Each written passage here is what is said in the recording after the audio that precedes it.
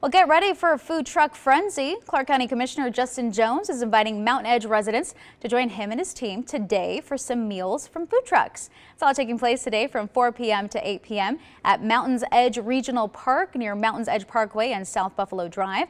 That event is free.